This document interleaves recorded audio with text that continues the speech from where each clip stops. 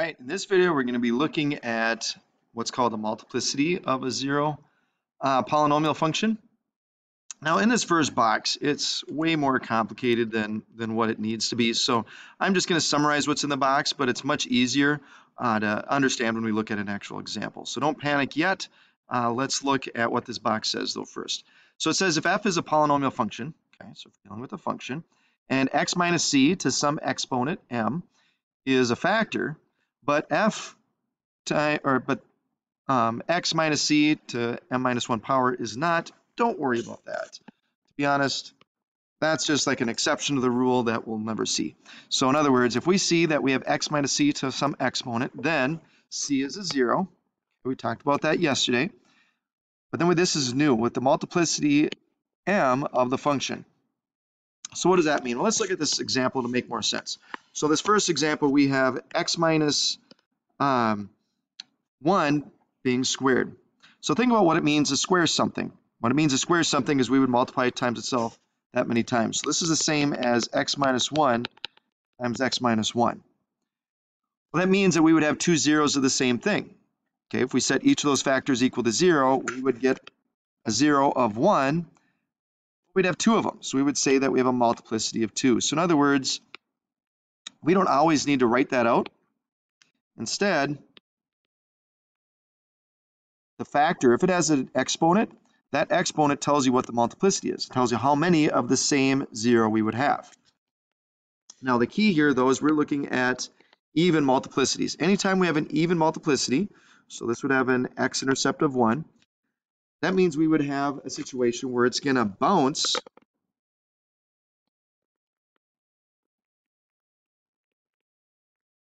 So it's going to bounce off that x-intercept. So that happens anytime there's an even multiplicity, that means that it's the graph is going to bounce off of that x-intercept. So we have two situations. The line could either bounce off the x-intercept or it could pass through the x-intercept. Let's look at the next one. So the next one, again, we would have, whoops, x plus 4 cubed means that we would have x plus 4 times x plus 4 times x plus 4. But I don't always want to write those out multiple times. So the idea here is I could set that factor, x plus 4 equal to 0. I would get negative 4 as my answer, so my x-intercept would be at negative 4. But the fact that I have an exponent of 3 means that we would have a multiplicity of 3, as illustrated by the fact that we would have x plus 4 times x plus 4 times x plus 4. But again, you will not be doing that. You'll just be looking at that and say, okay, the 0 is negative 4. The exponent there is 3, so that means there's 3 of them, is all that means. So how does that look when we go to graph it? Well, again, it's an odd multiplicity. So when we go to graph this one, that just means that the graph would pass through that point. And it's only going to have one spot where it hits the x-axis. And so it might be doing some weird things above or below the x-axis, but it's only going to have one x-intercept and it's going to pass through it. So if there's an odd multiplicity, so if the exponent is just 1, 3, 5, 7, 9, or so on, that means that the line, the graph, would pass through that x-intercept. If it's an even multiplicity, that means it would bounce off that x-intercept. We'll just add that here that this would be pass through. All right, so let's look at some other examples where we might have more than one thing going on with the with the graph. So we're going to graph this polynomial. Move my screen up here so you can see this. Uh, so it says we're going to sketch the graph of the factored polynomial. All right, so we're going to first find the y-intercept. Now, when we had something in standard form, remember it was really easy to find the x-intercept in standard form. It was whatever our constant was. This is not in standard form. This is in factored form. So in order to be able to find the um, whoops, in order to be able to find the x or the y-intercept, we're going to use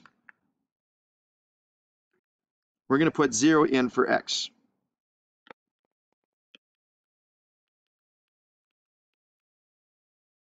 If we do that, we would get 0 plus 2 quantity cubed, don't forget the exponents, times 0 minus 1 squared. So 0 plus 2, when you add those together, obviously that would just be 2 cubed. And 0 minus 1 is negative 1 squared. Well, 2 cubed is 8. And negative 1 squared would be a positive 1. So that means that our y-intercept for this one is going to be at uh, positive 8. Then to find the x-intercepts, remember that's where we're going to set each factor equal to 0 and solve.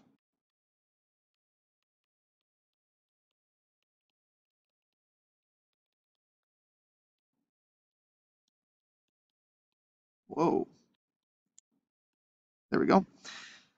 So if I set x plus 2 equal to 0 and x minus 1 equal to 0, we would get the x-intercepts of negative 2 and positive 1. All right, so we know the x-intercepts are at negative 2, positive 1, and we know the y-intercept is at 0. So let's plot those points.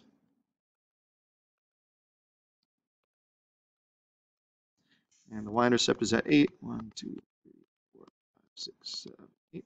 All right, so we plot the point where we'd have an x, I'm sorry, y-intercept of 8, x-intercept of negative 2, y-intercept at 1. Now before we, and then the end behavior, so we're going to graph it with uh, the appropriate end behavior. Now, for the end behavior, this is where it gets a little bit weird. We're not, we don't have to go through and expand all this out. But remember, we would end up taking x times, or x plus 2 times x plus 2 times x plus 2.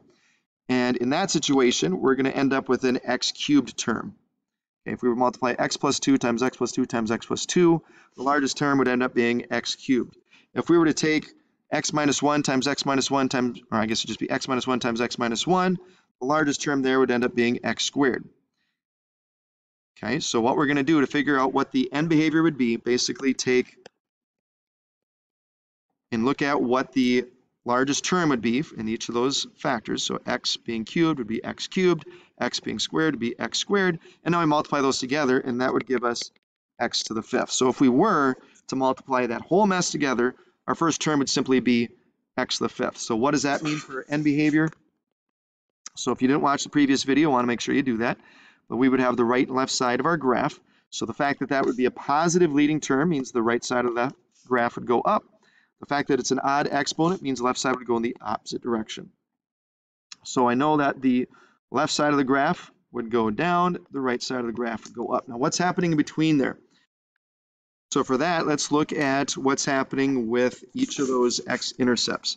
So remember the degree here at the, for the x, so for this one here, for the x plus 2, when I set that equal to 0, that's going to pass through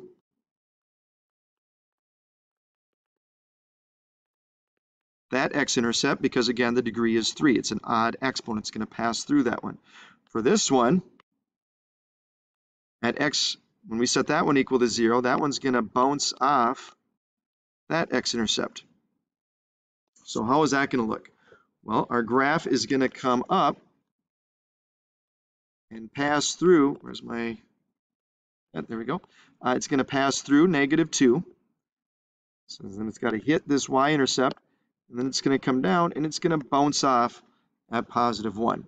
So it's important to remember that it's not just going to pass through all those points. Some of them it might bounce off.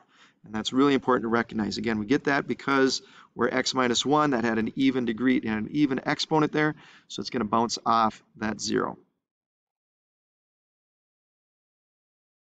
All right, let's try uh, doing this one together, and then I'll give you one more to do on your own. So here we have the quantity, or 2 times the quantity x minus 2 cubed times x plus 3 squared. Let's start by finding the y-intercept. So to find the y-intercept, we're going to replace x with 0.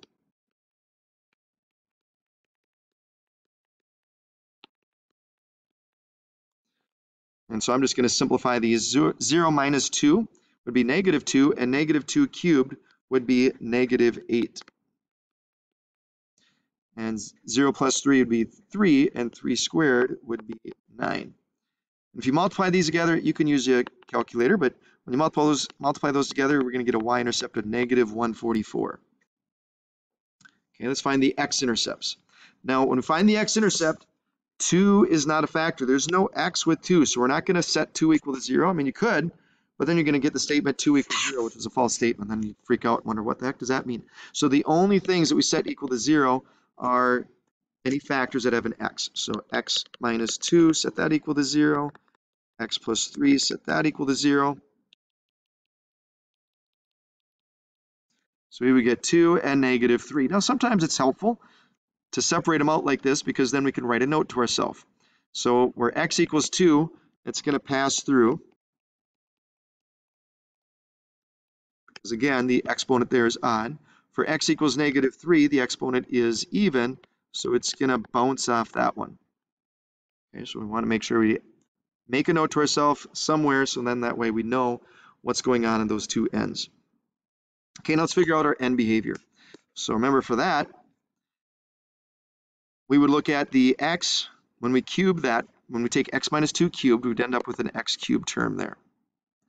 And we would have a 2 out in front. Um, and then we would take the x, when we take x plus 3 times x plus 3, we're going to end up with an x squared. So if we were to multiply those together, we would end up with a 2x. You add the exponents, we get 2x to the fifth. My leading term, I don't care about anything else, my leading term would be 2x to the fifth, meaning that it's positive, so the right side is going to go up. It's an odd exponent, so the left side is going to go in the opposite direction. So now we have everything that we need. We have the end behavior. Um, we know that the y-intercepts going to be at negative 4, and we know where the x-intercepts are going to be. So the x-intercepts are going to be at negative 3, positive 2. We know we're going to have a y-intercept way down here at negative 144.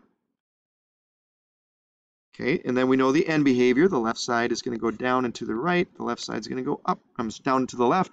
The right side is going to go up and to the right. And so what's going to happen in between there? At negative 3, it's going to bounce off. So that way it can come down and hit the y-intercept. And then it's going to come up. And it's going to pass through positive 2. So that's how we'd get our graph. All right, I want you guys to try one completely on your own. So go ahead and try this one on your own. And so go ahead and pause the video and hit play when you're ready to check to see if you've done it correctly. All right, let's see how you did here. So first says find the x-intercepts and state their multiplicities. So the x-intercepts would be x equals 1, and then we would just say it's that as a multiplicity of 4. So here we would have the other one would be x equals negative 3 with a multiplicity of 3 because it just tells you how many we have. This means that it's going to bounce. And this means the multiplicity of 3 means it's going to pass through. The y-intercept, to find that, we're going to replace x with 0.